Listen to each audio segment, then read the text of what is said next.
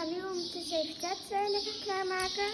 En zijn haar doen en uh, even goed poetsen, want hij is best wel smerig. En dan ga ik dat nu doen.